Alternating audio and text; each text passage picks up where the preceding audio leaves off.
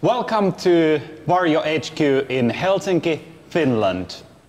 And today I'm really excited to be hosting to you the next Insight session on bridging neuroscience and mixed reality to superpower the human existence and experience. With me, uh, uh, I have Connor and Eva. Maybe you can introduce yourselves. Thank you, Urho, for having me. My name is Eva. I work as an embedded software engineer at OpenBCI. I've been with the company for around three years, and my main responsibility is developing firmware and software for Galea, our latest product that we're going to talk about. But I also help a, a little bit on the business and marketing side of things. Yeah, Eva is selling herself short. She does a lot and wears many hats and was our first engineer in the company. So uh, she's, she's got a lot of experience working with the tech. I'm uh, Connor Russomanno. I'm the CEO and co-founder at OpenBCI. I've been building hardware and software for interfacing the human brain and body for almost a decade now.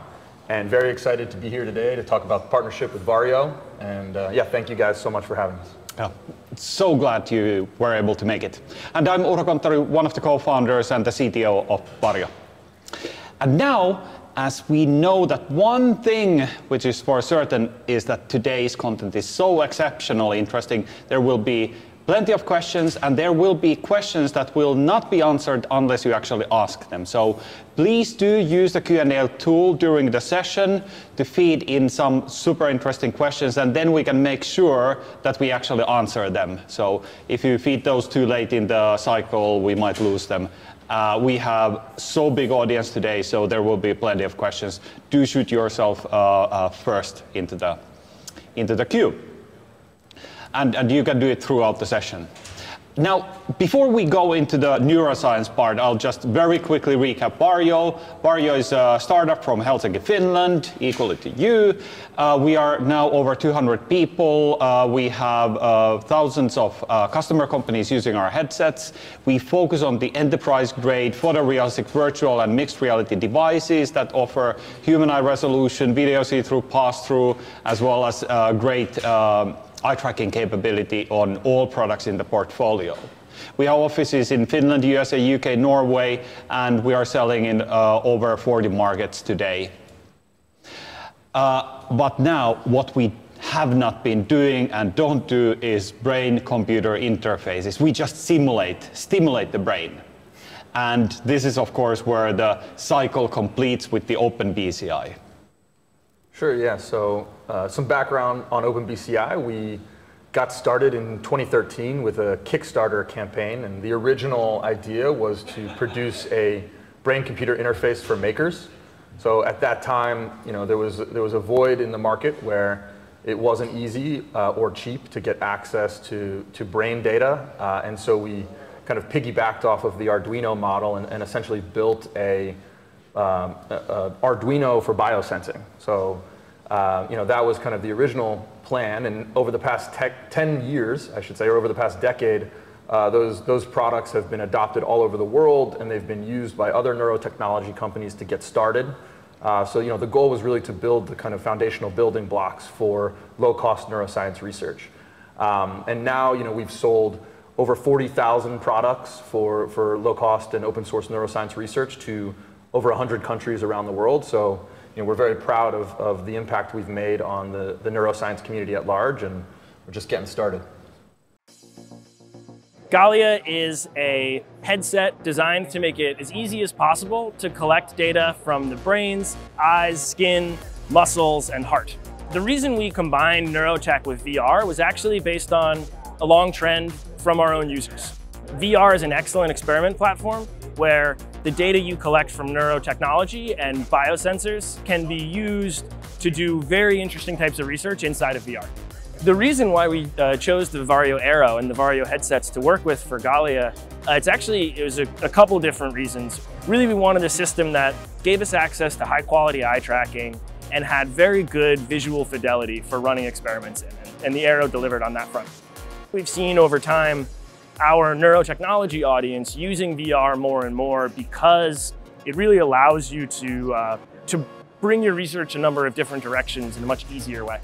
The faster they can collect data, the more subjects they can run inside of a given time frame, uh, it's huge cost savings, even beyond just what our system might cost versus other alternative uh, biosensor systems.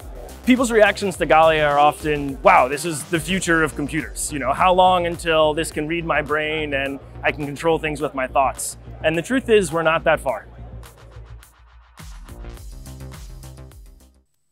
What a great segue, and, and we really have come far.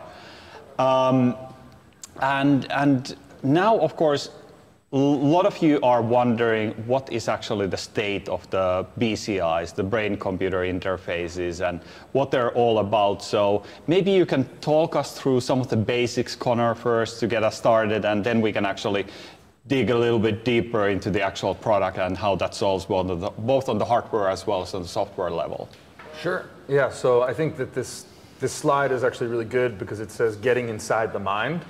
And I think that's an important thing to highlight here, which is that you know, a lot of times the mind and the brain are conflated. And we kind of see the brain as the same thing as the mind, but the truth is is that the brain is an organ that is, you know, kind of the nucleus of consciousness, but that information about the human mind, you know, what's going on inside of the head or, or what someone's thinking about, is actually represented all over the body. Um, and so now, you know, we, while we are a brain-computer interface company, we do focus on sensors for you know, measuring the mind, not just the brain. Um, when it comes to BCI, I think there's an important distinction that everyone should know about. Uh, there's invasive BCI. This is, you know, if you're familiar with Neuralink and, and, the work that they've been doing recently, or other companies like BlackRock or, or Synchron, you know, they're working on invasive technology where sensors are actually going into the body or underneath the skull.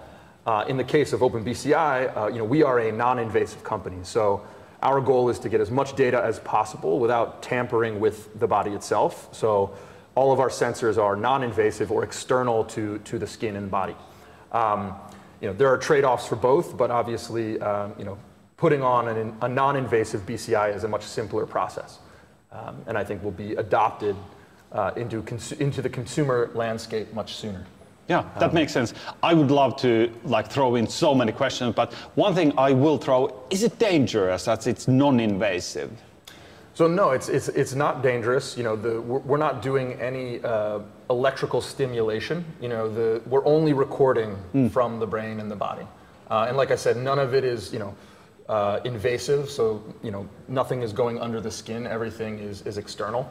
Um, you know, the uses, so you know, there, there's lots to consider when it comes to the ubiquitous adoption of BCI and what that could do to technology, technology addiction, you know, social stratification if tools like this become very, very valuable and they're hmm. actually mm.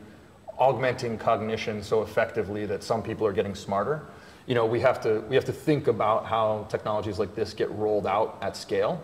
Um, you know, because then the technology could be dangerous, right? And so, you know, the, I think it's important for us to make sure we always have, you know, what's best for humanity as a primary design yeah, constraint. Absolutely. When we're, when we're, working on these things. At the same time, it's super important that you can take absolutely anybody from the street, mm-hmm. use the technology, and it's safe. Yep. And you get the insight. But hey, um, before, uh, before we actually talk about the product, let's talk a little bit of the traditional BCI systems. And, and we wanted you to see this basically image of how traditionally in laboratories and research institutions, the cognition state has been researched. And to understand myself this domain a bit, I, I was reading uh, National Health Institute's report on the uh, history of the past 50 years in the BCIs, which of course started like 100 years ago. Like uh, 1924, we had the first measurements of the brain activity. But I, I, I, want to read this quote really quickly to you to like, gauge why this is so important that we have a solid product. So this is from uh, 2021, January, just before COVID really hit us. Um, to sum it all up again, the BCIs took fiction known from the sci fiction literature into reality by providing some ways to use thoughts for the control purposes. However, although the systems are becoming more and more achievable, there is still a problem which makes it difficult to bring them out of the laboratories into the daily life. And the problem is the convenience factor. Long calibration times, using abrasive paste or gel to improve conduction, and time related to placing the headset on the scalp are on the verge of or, or, slightly beyond the average user acceptance. As, and when you look at this one, you can totally see that happening. Like uh, putting all of these in, calibrating, then making sure that they're all functioning properly before you, before you even run the study, very tedious. And this is, of course, what is changing with the Galea. So I think it's a marvelous step ahead on enabling any research company, whether it is company like Varjo or Valve or whatever, to make use of the BCI. Mm-hmm. But maybe you would be able to give us a really brief intro on the two versions of the Galea available today. Yeah. So thank you for that, Urho. Yeah, I think the, you know to kind of reiterate what you said, you know, the past 10 years we've been focusing on the reducing the setup time and increasing the convenience of using BCI systems. So, you know, not only is it non-invasive, you know, we don't have to cut the skin open or get under the skull, but also we, a lot of the traditional BCIs have used pastes or gels that you need to kind of create an electrical bridge between the electrode sensor and the scalp. You know, our systems are entirely dry, so there's no paste, there's no gel, and you know, ideally, you know, and, and this is the target is to be able to put the system on and get it running in under a minute. So you know, the, the, the, target setup time is 60 seconds to get, you know, from zero to 60 with Super. You know, the VR headset plus the, the Galea sensing system. So, you know, here we see um, uh, the Galea uh, headset uh, with the Varjo Aero uh, display attached. And so this was, you know, the first product that we announced. It was the VR integration. Mm-hmm. Um, this month in January at CES, we you know we're really happy about this. You know, based on feedback from potential customers, there were a lot of people who were interested in applying you know Galea's capabilities to the XR industry, so mixed reality, and so you know very very pumped to be able to include the the XR3 as a you know a product offering with with Galea. So I don't know if you want to talk more on the yeah. the XR3. So. Yeah, so, so, very quickly, in addition to typical VR experiences, the XR3, which is our flagship product today, we're extremely proud about that one. It has the like absolute lowest um, latency video see-through pipeline in the highest possible quality, which enables you to basically merge the analog reality around you with the digital reality of the virtual and have these perfectly mixing with the LiDAR, improving you to have the perfect composition of these two signals together.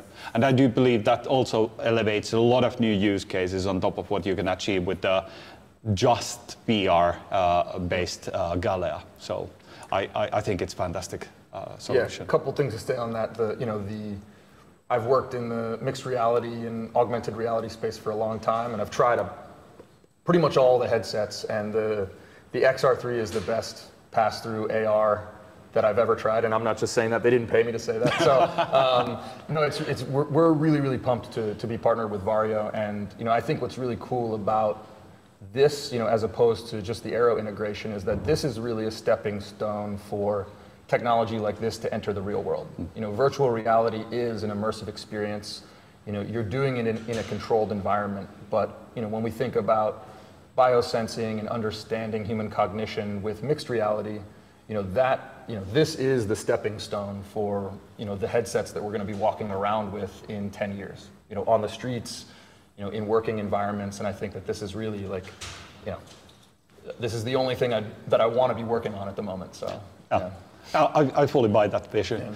But now let's get a little bit deeper into the tech. So, what makes it possible to actually read people's minds and, and maybe to a degree control it as well? And, and who better to talk about that one than Eve? Eva?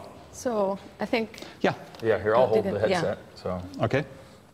Cool. So, yeah, let me walk you through the sensors that uh, Galea has. This is the XR3 beta prototype of Galea.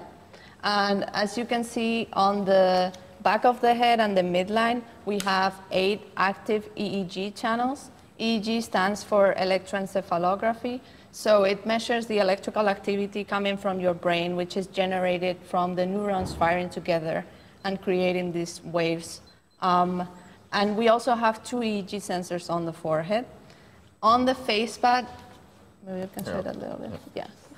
So on the face pad, we have four EMG channels, which are located above and below the eyes. EMG stands for electromyography. Yeah, that's great. That's the electrical activity generated from the muscles of your face. So for example, if you're frowning or smiling, we'll be able to detect that using the EMG channels. Um, on the forehead as well, we have a PPG sensor that'll measure things like heart rate, blood oxygenation, heart rate variability, etc. And also an EDA sensor. EDA stands for electrodermal activity. It measures the conductance of your skin, which will change based on the moisture. So if you get a little bit nervous or stressed, the EDA will spike up. And then uh, in terms of the eyes, we have EOG, electrooculogram. Um, we have a horizontal and a vertical channel for that. It measures the potential generated from your eyes when you move them. So we'll be able to see if your gaze is changing a lot and some of the movements you're making. And we complement that with the image-based eye tracking coming from the Varjo headset. Uh, the eye tracking gives you even more in-depth metrics, like for example, pupillometry, which uh, also gives you indica indications into different uh, internal states of mind. And so um, that's a compilation of sensors and like Connor was talking about earlier, we not only combine uh, BCI with um, XR, but we also add on biosensors for the heart and the skin that allow us to uh, calculate way more complex metrics, like for example, the attention level of someone, uh, the emotions that they're having, uh, if they're concentrating or not, etc. And we time lock all of that and make it easy to collect.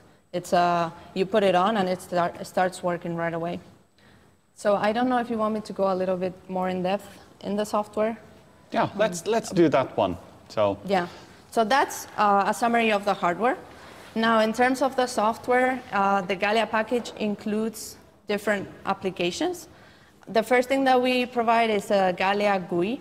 It's going to show on the screen in a minute.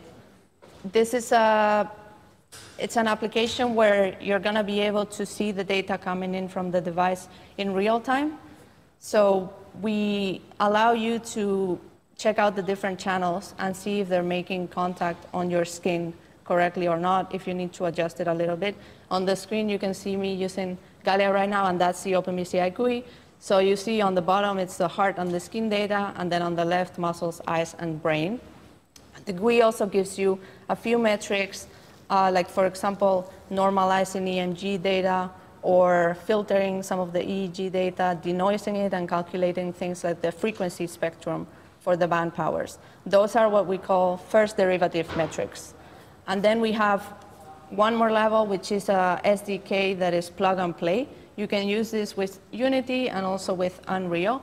This SDK not only has the raw data that we're showing you in the GUI, but it also has the first derivative metrics and also a set of machine learning models that we've trained to recognize some of the internal state of minds that I was talking about earlier, like the cognitive load or the attention.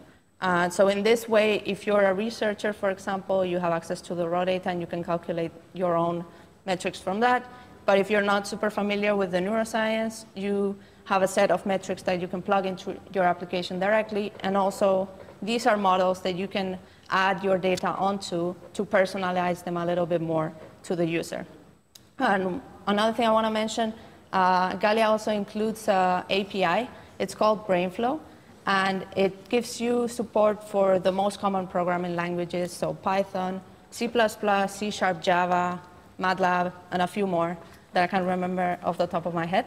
But with, with BrainFlow, you can integrate into applications. Say, for example, you're running experiments in MATLAB or some other software. You can use BrainFlow to integrate with that. And also we support um, protocols like LSL and UDP and OSC, which are the main ones used for researchers working in neuroscience. So we, you can export the data out of our software using those protocols.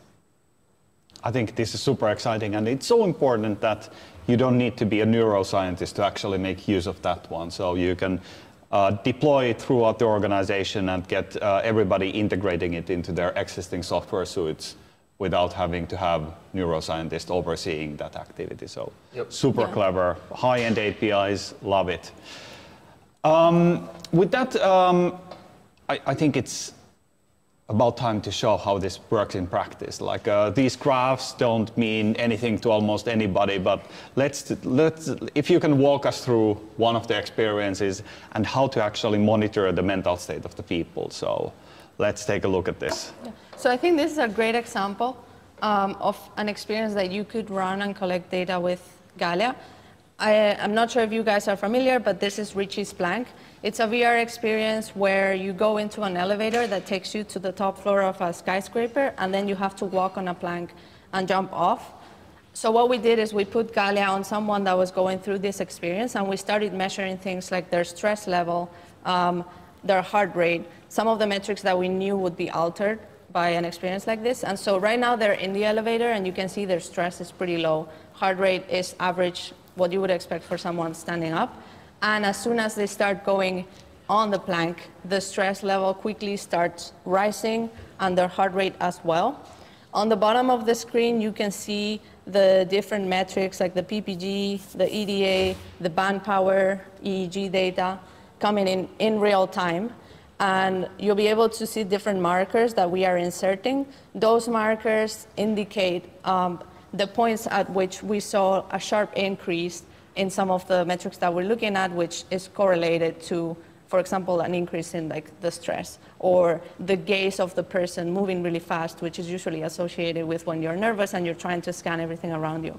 And so these markers allow you to go back to the data and check out what are the key points that you would want to dive in further and analyze a little bit more. Yeah, uh, um, I, I, think when we were watching this before, we were like, okay, when you end up in this white state, you're still stressed, but you can actually see that pupillometry is dropping really fast, so you actually become relaxed even though the heart isn't quite as quickly adapting to the more relaxed state. So it's yeah.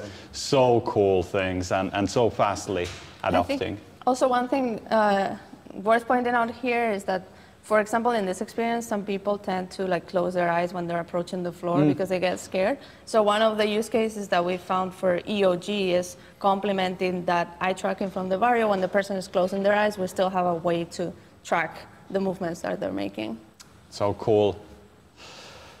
Okay, so um, then let's go to the next level. So as as this has been reserved for like uh, academic research, for like a really neuroscience related domains in, in maybe research institutions as well. And this is the work that you have been doing on bringing that from the lab to the real world, which is super exciting. So how do you see those like use cases now developing? Because let's face it, there has been nothing ever like this on the market. So you don't have that kind of like, uh, yes, these are the top 10 use cases for BCI in the world right now that actually make sense because those would be mm-hmm. like only like listing very academic use cases totally separated from the real world. So uh, can you talk us through that one a little bit? Because yeah. you do have experience on, on discussing with multiple companies, Connor. Yeah, so you know, you hit the nail on the head. Our, our kind of bread and butter industry, the, the, what's you know kind of got OpenBCI going was research and development. So, hmm. you know,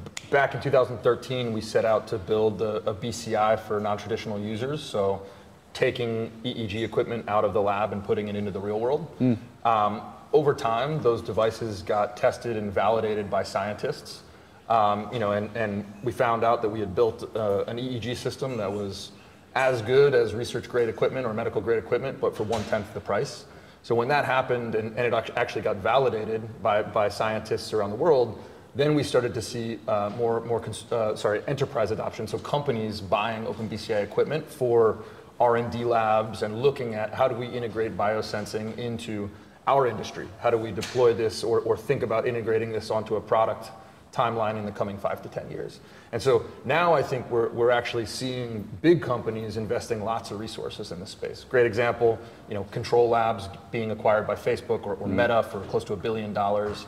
And there's a number of other neurotechnology companies that have been you know, either acquired or partnered with larger companies in the last couple of years. Um, you know, getting back to use cases, I think um, you know, one of the big ones outside of R&D uh, that came across, you know, our uh, you know, door was, you know, working with Valve. So we had the mm-hmm. opportunity to, to, you know, partner with Valve for a couple years, and, and they had already been, you know, as kind of what I was saying before, they had already been buying our equipment and working with OpenBCI's core equipment inside of their research labs. Um, you know, and then they reached out to us when they heard about the, the Galea project. Um, you know, and I think for gaming, you know, a device like Galea has a, a lot of opportunity or potential to change things like play testing. So mm. before a game gets rolled out, you know, putting players into the game and you know, looking at shifts in their physiology, shifts in their internal state of mind. You know, is this game bringing someone into a state of flow? Right. Most games are, are designed that way, way where you're trying to get the player to a state of flow, where they're completely unaware of the outside world and they're totally engrossed in the game. Right. So if you can detect certain scenes or certain parts of the game that are boring, cut those parts of the game out. You know, and so for play testing, it's really really interesting. But you know, if you start to think about um, you know the inclusion of machine learning and AI as you know, part of the gaming experience, you know, I, I think that in the future we're going to have games that essentially design themselves. So you know, you've got all of this data being tracked about how the user is playing the game. There's no reason we couldn't have a game that learns, you know, in the very first level, what is you know capturing the attention or the interest of the user. Which characters does the user or the player like interacting with? Um, you know, and then using that information to actually build or generate the rest of the game algorithmically, right? So we actually have this kind of like closed loop system between the player and the game. Um, you know, I'm sure that you know many people watching right now are also thinking about some of these same frameworks being applied to medicine or healthcare, mm. right? So a great example, um, you know, where a technology like this could already be applied is um, PTSD, right? And so, you know, one of the common techniques for addressing or treating uh, PTSD or any type of traumatic experience, you know, or a reaction to that is immersion therapy. So, how do we gradually bring somebody who is triggered by an experience back into that experience and kind of th- through immersion, uh, gradually make them more comfortable with that experience again? You know, uh, an example of this would be, you know, somebody who has a fear of flying, you know, or, or an anxiety around flying. Can we you know, before taking them on a real plane, can we put them in a virtual flying experience, right? And, and then also track their stress and track their anxiety so that if it gets too intense, we have, we have a kill switch. We can just turn the game off or you can just take the headset off, right? That's a very difficult thing to do in the real world because, you know, you can't just abruptly land a plane, mm. right? You have to find another landing strip and bring the plane down. So if somebody is starting to have a panic attack, you know, in that experience, you just got to play it out. But in VR, we can for one, we can actually toggle, you know, algorithmically, we can toggle the intensity of experience, mm. right? It, it, can actually be a, a, variable experience based on how well somebody is doing. But also there's a kill switch. You can just take the headset off, right?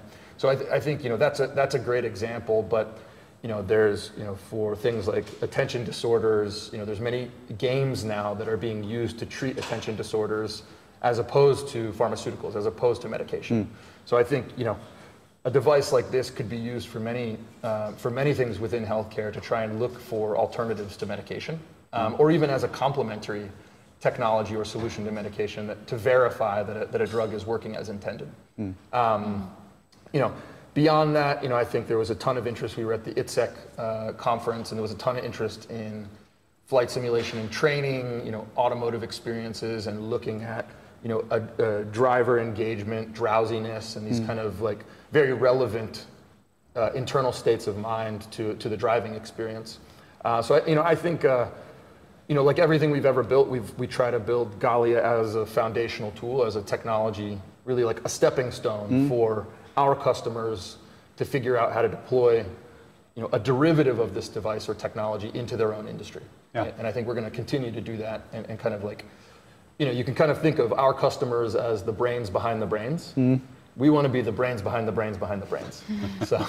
Very abstract. I do love that uh, this enables in any kind of like um, the PTS, the PTSD um, uh, evaluations and such to not to just rely on the feedback and comments by the patient because they uh, they might not be able to really consciously understand what's going on in their heads, whereas this is very objective instrument to answer, understand that one. And as you said, like a dial down the experience is needed far ahead of it actually like escalating to anything, right. as well as in like uh, training and simulations. And this is uh, the area where I have had a little bit of touch into this domain is, is when you need to be learning uh, stressful experiences and mm-hmm. you can then monitor the progression that gradually by the 20th time the, the uh, pupil is not anymore that stressed. You can see that they have actually been learning and now they would be comfortable doing that same thing in the real world as well. Right. Whether it is like uh, flying a very um, uh, tight, uh, uh, stressful mission in a, in a plane or something like this, you can actually toggle that down far ahead of time and see the progression all the, all the time. So. Right. I think there's there's this theme. Actually, uh, sorry, I didn't. No, I was just going to say another uh, application side that we haven't touched on that much is using Galea for control. So we do track a lot of metrics with it, but you can also use the EMG especially to control um, the scene and not use your controllers. Or for example, if your hands are busy during a training experience where you're learning something to do with mechanics, for example, you can use your face to have additional channel inputs, or people who have mobility issues will be able to do uh, more things with Galea because they, they can use their face and the muscles that they have available. Yeah. So that's another. I mean, this is God given for paralyzed people, so Yeah. Yep. really, really interesting. Okay, so uh, you, you guys brought a couple of like uh, example uh, experiences as well. So let's take a look at those, and, and maybe you can talk over those uh, Sure. while we watch them. Yeah. So this actually to the, to what Ava was just talking that's about. That's a good example. Um, yeah, we call this the third arm demo, and the idea here is that we, we create this kind of virtual appendage that you learn how to control, and that, that appendage can be mapped to anything in the virtual or physical space. Um, so here in this demo, your hands are occupied, and you actually you have to use your hands to kind of slow down and control these, these conveyor belts. But then you actually use this kind of mini keyboard on your face. So there's like four buttons that we've mapped to the left cheek, the right cheek, the left eyebrow, and the right eyebrow.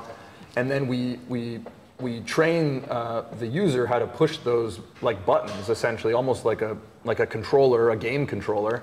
So you have uh, four additional uh, uh, binary inputs that you can use from your face to control a drone that flies around the space and helps you. So this is an example of kind of human-machine symbiosis. How do we, you know, leverage additional buttons and things from around the body that essentially have no purpose for us anymore, or at least not while we're using a computer? How do we give those muscles purpose again and remap them? Kind of, you know, it's not too dissimilar from the first time we learned how to use a keyboard, hmm. right? Like the first time we use a keyboard, we're thinking about every single button that we're pushing. Like there's the T button, there's the A button.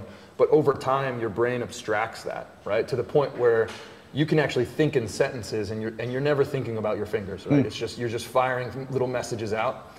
The brain is very, very like elastic. It's very, it's very good at adapting itself and cutting out the middleman of conscious, like cutting out the in-between steps to where like, you know, from point A to, to point Z, you don't think about everything, all the letters in between, right? And I think like right now we're essentially building, you know, novel keyboards that you're, they're just mapped to your face as opposed to your fingers.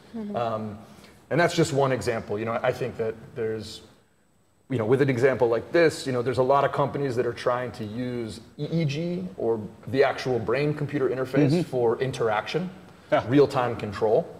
But I think that the, you know, real-time control should be, we should use the path of least resistance to solve problems. And in almost all examples, you know, even locked-in patients, people who have very, very close to almost no residual motor function. In most cases, there, is, there still is some residual motor function, and we can latch onto those muscles and reprogram them much more easily than tapping directly into the brain. Um, so anyway, this example here is really just showing how quickly you can learn how to use muscles on your face for real-time control. Yeah, and this is available as a, like a dev kit example as well, right? Yep, this Yes, is one of the one of flagship demos in our, in our kind of Galea software suite. It feels like a superpower. It must feel bad when you walk in the real world and you cannot do it anymore. Yeah. Yeah, you get Yeah. used to it. Incredible. So let's l- take a look at the second one.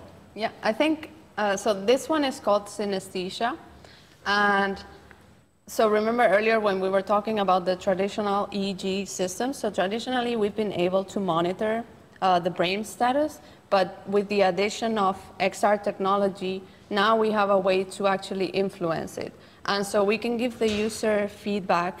Um, on what's going on in their brain and change the scene according to it. And this is an example of how we do that. So synesthesia room uh, is this environment which has colors that are mapped to the different frequencies that your brain is producing. So usually we split these frequencies into band powers, and each band power is associated with a different state. Like for example, the alpha, which is uh, 8 to 13 hertz, is associated with relaxation. And we map that one to the color green.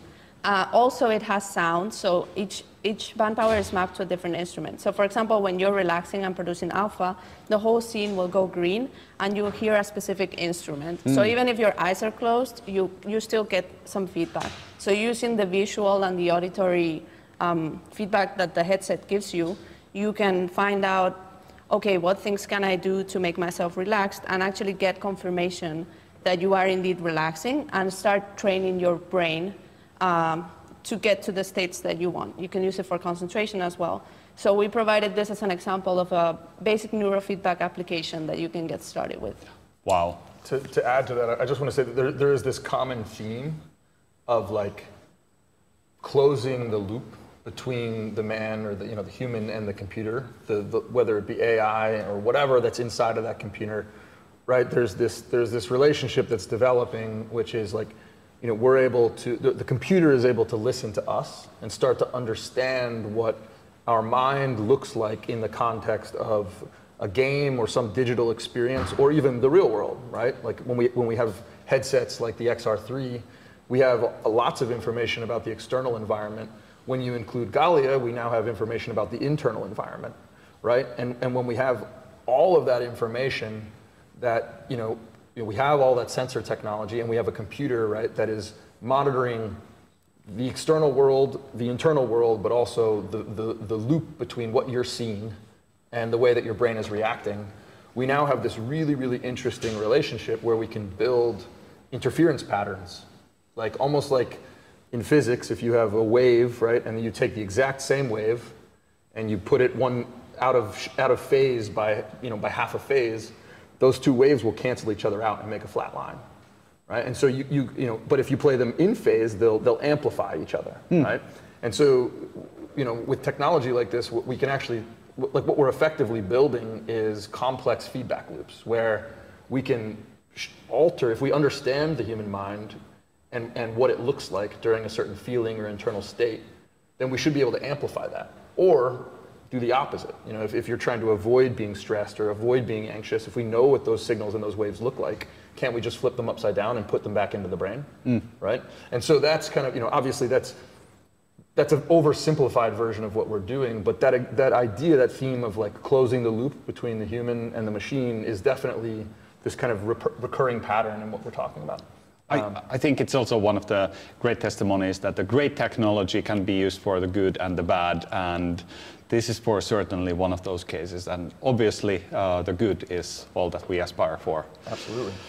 Uh, so, uh, do you do you have like um, just before we go to to the Q and A where we have tens of questions? Do you have like a, an insight into like what's going to be like a n- next? What's going to be the next exciting thing in the domain? You want to take You, this? you Easy? should talk about it first.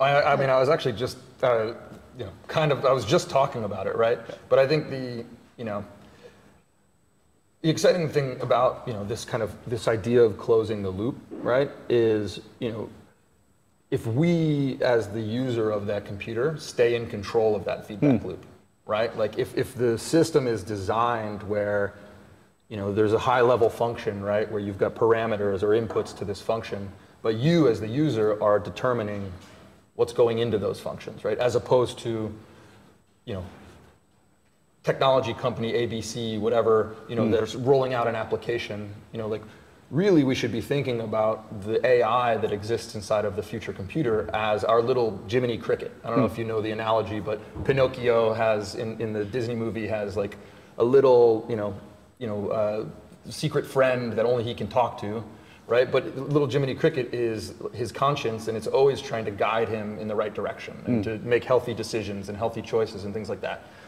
you know, I think in an ideal world, that's what artificial intelligence becomes, right? Where it's, it's a very personalized um, AI that is prioritizing your mental health, your well-being, you know, m- making sure you're getting enough sleep, and it's able to track how you're using the rest of technology at large and make sure you're using it in a healthy way, right? So obviously that's a that's a very difficult challenge, especially with the pressures of you know, capitalism and yada yada, and companies that are rolling out applications for other purposes than mental health, right? Yeah. Um, but I- you know, I think about this in this kind of closed loop, and I see technology like this as really, you know, being the core of us both understanding the human mind, but al- also expanding it, and and like, what can we do? How can we adapt our consciousness? Um, so, yeah. Yeah, for me, I often look at it as like the next step of things like, for example, the watches that we wear nowadays, which are already tracking our data. Like my, uh, my Garmin tracks my sleep, how much energy I'm gonna have for this day, my stress level, and things like that. And I think with the addition of uh, the brain data and some of the other data types in Galea, we will be able to measure more complex um, internal states and have this guide that Conor is talk about, as, talking about as long as we make sure that the, you know, we're developing the ethics of the field correctly as well. Yeah. It's, sup- so- it's super interesting topic as well, and, and would be great to be sometimes proactive and not retroactive on, on, on regulations and these kind of things. And I, I think, that's super also. Yeah. people uh, sometimes look at us like a whole different world. But if you think about it, we already have so many devices on us that track our things, and we use our fingerprint to unlock our phone. So we already have biometrics integrated into our daily life. And I don't think, it, you know, it's crazy to think that in a few years, the, those will include um, all the metrics that we're talking about today. So- Exciting. Hey, uh, so uh, we still have time to uh, include a couple of more questions. So if you do have pressing things, to shoot those into the session. So happy to go through those. And uh, I'll start shooting now uh, the questions. So you can keep the answers short um, or or uh, or branch out if you you feel like it. But we have plenty. So first of all, thanks for the super interesting session. Are we going to see brain implant BCIs in the next few years? I, I take it not just from you, but from the like industry in general. So how do you see that? Yes, in fact, we, there already are plenty of brain implants that are that are being deployed into humans. And so the, you know, a lot of people like to talk about Neuralink. There are a number of other companies that have been doing it for decades Yeah. and actually have dozens of human trials. Um, you know, a company that we you know work closely with, BlackRock Neurotech. Um, they've been building you know invasive BCIs for over a decade, and they've got I think it's 40 um, people now with with implants that are controlling you know uh, robotic arms and virtual interfaces with actual invasive BCIs. Um, you know there are a lot of challenges that come along with it, right? You know, like the, a lot of times those those sensors can't stay in for more than a couple of years. I think the longest that some of those sensors have been in is close to a decade, right? But there are biocompatibility issues, um, you know, and so I think there's you know, I don't think it's going to be one or the other when it comes to invasive versus non-invasive. There's going to be people who desperately need invasive sensors, you know, uh, individuals with ALS or other forms of, of, you know, motor disabilities where the utility of having that, that, you know, that extra fidelity and the extra, extra efficacy in the data is worth going through, uh, you know, a rather invasive surgery to get an implant obviously like it's gonna we're gonna get better at those implants and they're gonna get smaller they're gonna get you know the biocompatibility will get better but i think um, you know ubiquitous adoption of bci is going to happen via non-invasive technologies like the ones that we're building Yeah. um, yeah Truly makes sense. So, um, lighter weight question: Are there any games out there that already utilize Galea? So actually, we've been working with a few partners, um, alpha partners that already are using Galea for their research, and they're developing applications, for example, for training uh, drivers, like Conor was talking about earlier, detect drowsiness and things like that, and also. Um, the, one of the main reasons we actually built Galea is because a lot of researchers were trying to combine EEG and EMG and VR by themselves and integrating it, and it was time consuming and costly for them to sync all the data. And so, even though those people don't have a Galea yet, because we're, um, we're working on the beta at the moment, they have built applications that use these different modalities for things like uh, stroke recovery um, and rehabilitation and things like that. Yeah. So they have proven the concept. Yeah, super. So, uh, is it available, or can you go and buy a Galea? Great Yes. question. You can pre-order a Galea right now. So we the the Galea beta program is open right now. Uh, we've got a number of, of beta customers and partners already. This is a really awesome opportunity to be one of the first people to ever get to work with Galea. Um, you know, I think that this is a, you know, we're, we're going to prioritize our beta customers and, and make sure that the devices that they get are, you know, maintain func, you know, maintain function. If anything breaks, we're going to be the, like immediately replace it. You know, I, I think that this is, that, you know, they're going to be the ones to prove the value of this technology. Hmm. Like I said, we're the brains behind the brains behind the brains. You know, we are trying to supply, you know, the, the next generation of the companies that are actually going to deploy derivatives of Galea into their industries, right? I think that there's there's so there are so many applications of hmm. a system like Galea that we can't pick right now, like, and we don't want to pick. We want we want to enable technologies like this to become ubiquitous through different types of applications, right? And so, getting back to your question, yes, you can pre-order now, and Yes. please do. Uh, Excellent. So then, I have no idea what this means, but I will shoot it. Do you have full OSC support? Yes, we have support for OSC. You can get the stream exported from the OpenBCI GUI in real time. Excellent. So, O something stream. Excellent. So, um, is there a path for companies that already have XR3s to leverage this and use Galea and beta program without purchasing another? No. No. We Very are, clear. We are Yeah. doing the full system integration, so we we want to make sure that the device that arrives to our customers is functional out of the box, and that there's no tampering with you know either the XR3, the Aero, or the Galea system. Uh, so you know it's, we're prioritizing making sure that every system works and that we do the integration ourselves. Yeah, that makes sense. And while it looks very similar, there is like a significant mechanical level um, uh, changes in the device itself. It's not an add-on; it's a whole new device. Yeah. Um, all right. Uh, how big and what is the role for data scientist slash uh, machine learning engineer in BCI technologies? Very big. Huge. Yeah.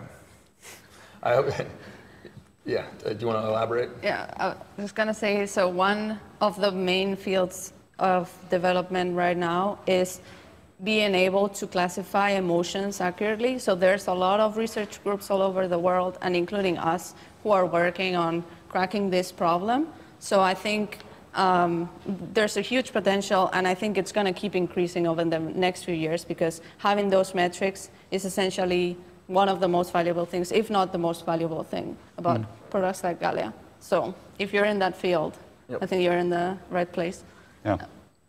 I'll, I'll, I'll- shoot and maybe answer myself. What dangers exist for the individual confusing reality with virtual reality, etc.? And I, I, I think it's, it's one of those things that when you use really like uh, deep VR experiences, you do lose yourself into that. Like uh, I had, for example, uh, uh, a, a very visceral feeling when I played the Half-Life Alyx for the first time for hours, and then I walked to our living room and felt two things were not possible. I wasn't able to reach out to a cup and have it appear in my hand, and I felt at loss from that one. I felt that my new self was assuming that's possible Yeah. And it felt I, I felt so crippled Yeah. by not being able to do it and then turning by actually turning felt very laborsome because i had gotten accustomed to just like a finger is enough to do it so i uh, it's possible to confuse to a degree these realities but really like uh, you don't fully like as a normal cognitively like a safe person you don't mix these too much Yep. just like your dreams. Um, uh, does the Varjo BMI have the ability to have used within Unreal through plugins, or would that have to be coded by scratch? But this obviously means actually you, not the Varjo BMI, but uh, but the OpenBCI. So- the, the intent is that can you actually use plugins instead of actually mm. coding from CC++? You can use plugins. So we provide a plugin that is essentially plug and play. Like you import it into Unity or Unreal, and you can start visualizing the data straight away or mapping it to objects in the scene. You mm. also have the option to code it for people who want more flexibility. Hmm. So we, we try to offer this modular approach that gives you access to everything so you can choose depending on the industry that you're at and if you're a developer or not. Yeah. To kind of add to that, there's, you know, there's the three, we see that all of the data or all of the ways to use Galea separated into these three, data, three tiers of data. There's raw data, which if you're a neuroscientist and, and you want access to the raw data, uh, because you don't trust our classifiers or you don't trust the neuroscience that we've done internally, we always share the raw data. You know, that's what makes it a, a research tool. Uh, you know, there's a, there's a derivative layer, which is, you know, first order derivative metrics like heart rate, heart rate variability, all of the brain waves, and, you know, some basic signal processing applied to these signals to make them more visible or viewable on a standard graph. So that's kind of like tier two, I guess you could say. And then where we're putting a lot of our work right now, and this is you know to all the machine learning experts out there, is how do we now take make kind of second order derivative uh, data sets such as stress, cognitive workload, you know, arousal, attention, shifts in attention, you know, drowsiness. So you know this is where you know we're, we're putting a lot of work in to train data sets and to kind of learn what does the average brain look like or what does the average mind look like during these different cognitive states and then one step further is actually rolling out uh, calibration mechanisms where you as an individual right can try the generic model and if it doesn't work that well for you out of the box you can actually adapt that model by calibrating it to your own physiology Yeah. and i think that's you know i think that's where most computers are headed which is this kind of this idea of empathetic or personalized computing where the computer is over time adapt, adapting its operating system to the user Excellent. Five minutes remaining, so we're able to do a few questions still. Can Galea interpret our emotions better than what we humans do? I think two sides, personally and then uh, gauging some other person's emotional state. That's an interesting question. that is an interesting one I would i would say, I would say it, it can- depends yeah, it can like quantify it. Yeah. So what we're looking for here is trying to quantify objectively some Mm. of these things that we know how to understand intuitively, Mm. but not so much how to like quantify and then use this for whatever purpose we want.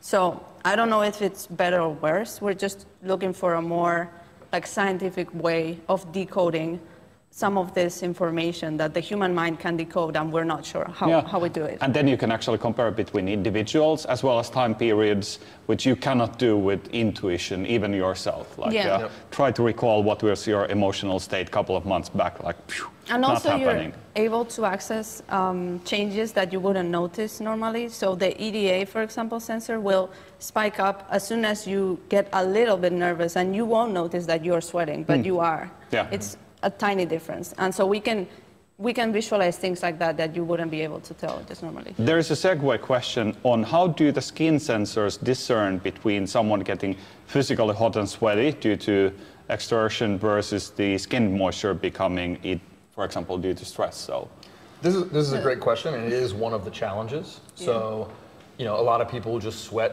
inside of a VR headset regardless, right? Mm-hmm. And so there's things we can do to try and extract the signal from the noise. So using accelerometer data, if someone's moving a lot, mm. right, and, and we see a lot of motion, we can assume or make assumptions about their energy exertion. And so if we see big shifts in sweat activity and also a lot of movement, mm. then we can say, hey, that might be due to the movement. But if they're not moving at all, right, then we can then, then we have a stronger indication that it's related to stress and not physical exertion. Yeah. So that's an example of things that we can do, but you know, there's always going to be noise, and I think it's you know it's it's a matter of extracting the signal from the noise. in- in and it's cases. also multisensorial, so not relying on that one, using the eye saccades, the other things, so like a higher level abstraction Right. as Yeah. well. Okay, uh, this headset would be excellent for neuro rehabilitation medical studies. It might also be good for translation of alphasic patients. So, how do you reflect on that one? Uh, aphas- sorry, aphasic patients. I don't know. Maybe Sorry, what's I'm not what- familiar Yeah, I'm not with familiar with the Okay, so Yeah. so maybe we take it as as maybe. We don't know. Uh, okay, so uh, are you open to collaborating with any university to establish the lab for AR, VR, and BCI? Uh, would you be able to know the procedure and like uh, how would that actually happen? Uh, definitely. Uh, if, if you haven't reached out to us already, the best way to get in contact uh, regarding uh, Galea is galea at openbci.com. Yeah. Right? So Galea at openbci.com. if you email galea at openbci.com with any question, we will answer it. Okay, uh, who in the scientific community are you working with to interpret all the data uh, that you're collecting? Or is it up to your customers to interpret this complex data? So, So we're, we're doing a lot of that work internally. So, you know, Musa is our neural data scientist. He's, uh, you know, one of the more recent members of the team, but that, that, that division of the company is a primary focus, you know, over the coming, actually for, the, for indefinitely, is expanding the internal team that's working on, training the classifiers for these different internal states and then verifying those, those classifiers by, getting, by collecting large data sets. Um, yeah, so I would say uh, yes. excellent. this looks fantastic. Where would we be able to test such a system? We'd be wanting a way to get to know the system before purchasing, like a probably typical, quite typical question. So, Yeah, so I mean, this is tough because we've only got uh, you know a dozen alpha devices, and we do have some of them loaned out to you know partners that we worked with for a long time who are helping us validate you know and, and you know confirm our assumptions about the the way that the device is working. Um, if you're hell bent on trying it before buying it, you can schedule a time to come and visit us in New York, and, and you know, we can walk you through a, an in-person demo. Alternatively, we can do um, remote demonstrations where you know, we show you in real time over a video call, one of us connected to the headset and talk you through the different data sets. So we've done this on webinars, and you can actually you know, if you want to go and look at the data in one of our webinars, we have live data streaming. The first webinar that we did together, I think it was in July of last year. Yeah, in the summer. So yeah, last summer, and you know, reach reach out with questions. We can share that with you. But Yeah. unfortunately, we can't ship alpha devices around right now um, unless you're a paying customer because we're we're reserving it for. How about uh, any any like uh, avenues like AWE or any other exhibitions? That is a great example. We're, we're the next uh, exhibition or, or conference that we're definitely going to be at is the BCI meeting in Belgium in June of this year. Um, so at that point, we will be doing live demos, but we just kind of finished our flurry of conferences. So If you do have, if you're interested in the software integration side of things, we also have packages that we can send that have examples of the data and emulating what it would look like so you can test it on your software. So that's also an option. Okay, how about have you integrated a deep learning solution in your software to identifying emotions, happiness, sadness, fear from Galea's neuron signals? this would be a question for Musa. Yeah. So probably. Musa is the main person working on this. Um, he's training like different models. I'm not super familiar with Yeah. like machine deep he's using, but uh, the emotions that they're mentioning in that question are the ones that he's working on. Yeah, absolutely. So super interesting. Then this might be a, a, a bit of pre, like um, preempting. Are there any implementations for paraplegic lower body paralysis or quadriplegic uh, all four limbs paralyzed patients? So yeah, we're actually working right now uh, with an individual named Christian who's lived his whole life with pretty severe motor disabilities, and um, you know what we're doing is figuring out where there is residual motor function, right? So a lot of times, you know, people with uh, with motor disabilities still have muscles that work. They just don't work fully or as intended to actuate limbs, and they don't. May, they may not have the strength to lift an arm up, but there's still messages getting through.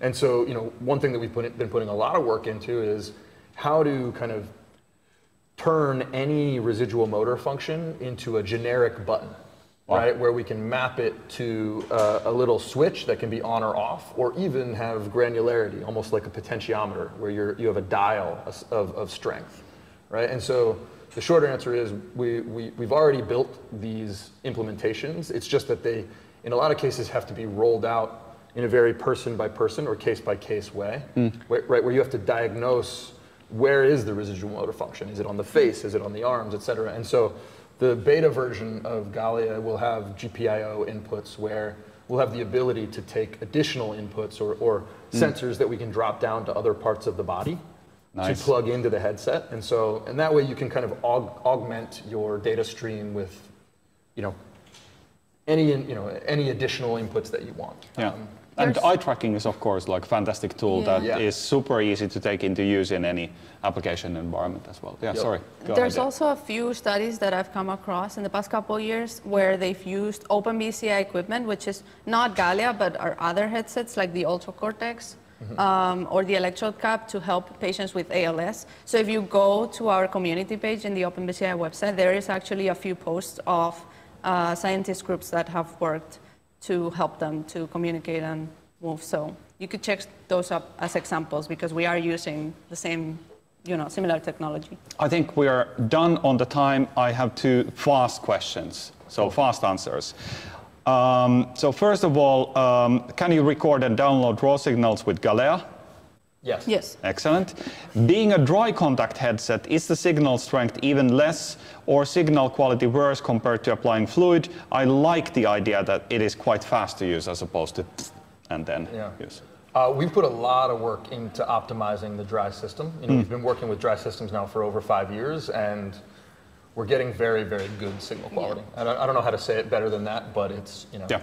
We have works. validated it against the, elect- the white electrode cap in experiments like SSVP or P300, which are the standard scientific ones that you use, and it performs well. And then I'm overblowing schedule because I'm so curious on this one. How accurate is this under motion, like say in a moving vehicle? Yep. So this is a, a great question. I think in a moving vehicle, you know, there's uh, it's all about relative motion, right? If you're in motion and the vehicle's in motion, then you're going to get pretty good quality. Um, this is kind of related to a previous previous topic, but w- what we're doing now is using accelerometer information to um, when we see a lot of movement, uh, doing artifact extraction, you know, and at least knowing that if there's a signal, a large jump in voltage, that it could be related to movement as opposed to something coming from the muscle or the brain. And so that's that's the best way to do it is to use accelerometers to kind of like detect when there's a lot of motion. But yeah, Excellent. So with that, I thank both of you as well as you. Thank you for everybody on the us. line. And very importantly, you can contact us to learn more. So hello at varjo.com or contact at openbci.com. And the websites are there as well, openbci.com and varjo.com. Thank you so much for everybody for joining in and for all the fantastic questions. And it, it's been a delight. So thank you all. Thank, you you for having us. Yeah. Thanks. Thank you. Bye.